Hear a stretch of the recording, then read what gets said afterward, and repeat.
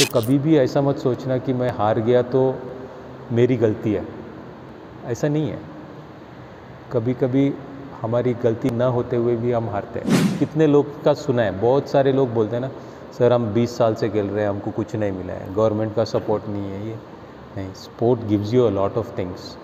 so you don't have to worry about whether you get a sponsorship get get money get job no the ability to fight and live life sport teaches you.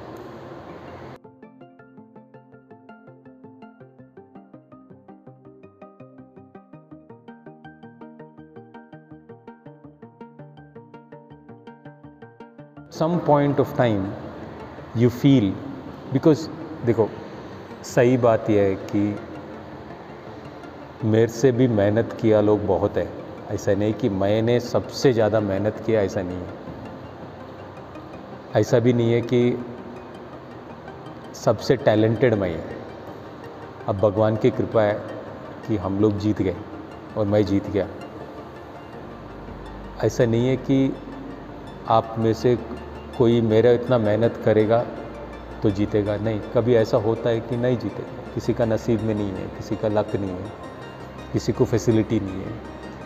तो ऐसा भी हो सकता है कि हम लोग हारते हैं। तो ऐसा जीतने वाला सबसे मेहनती है, ऐसा भी नहीं है। सबसे स्मार्ट है, ऐसा भी नहीं है। बस भगवान की कुछ और रीजंस होते हैं। भगवान की कृपा ऐसा हो गया। बट इसका मतलब नहीं है कि ज़िंदगी भर हम हारते रहें। You can have a small temple and you can become something you can have a small hotel you can have a small of job you can be the best in that you can be a coach you can do so many other things in life but your sport should make you even better in what you do. And that is very very important.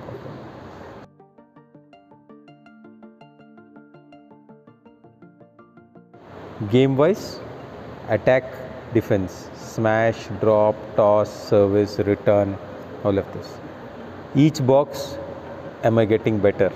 Attack better defense better drops better dribble better smash better all of these things. Next side strength my leg strength my upper body my core strength my upper body my hand all of these whether I'm getting better put it into boxes tick those boxes each time you have to improve every time the third thing tactically am I smarter or not in the end points when you played in the end point yesterday you always hit cross court. So your opponent was ready with the hand. So one, two straight, you hit cross. So you were not ready, you are not placing it to yourself. You're opening the game up. So that next time you don't make that mistake. So that is very important. So things like this. So tactically, are you good? Mentally, you've lost to a player four times. Now, how do I beat him? What preparation do I do?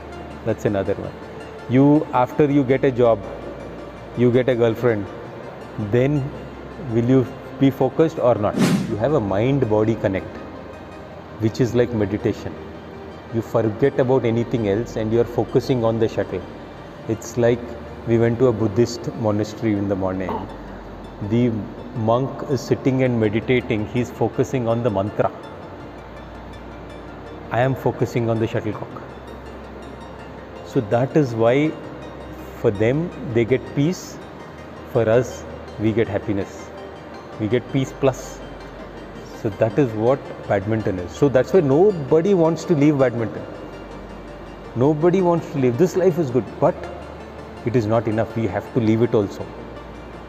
Badminton छोड़ना पड़े तो छोड़ देना हम वापस खेलेंगे will all come back and play veteran badminton also but when you are young you have to also build a career तो हम सबको अब टूर्नामेंट अब करेंगे तो इसमें से एक आदमी जीतेगा, बाकी सब तो हारेंगे। तो इसका मतलब नहीं है कि सब लोग निराश होकर चले जाए। सब लोग कोशिश करना चाहिए अगली बार। और जिस दिन छोड़ दिया, उस दिन खुशी से छोड़ना चाहिए। ऐसा नहीं कि दुखी दुखी नहीं छोड़ना चाहिए बैडमिंटन और छोड़ दो बैडमिंटन भी कभी छोड़ दो, फिर later on you can play but become something in life because you are a badminton player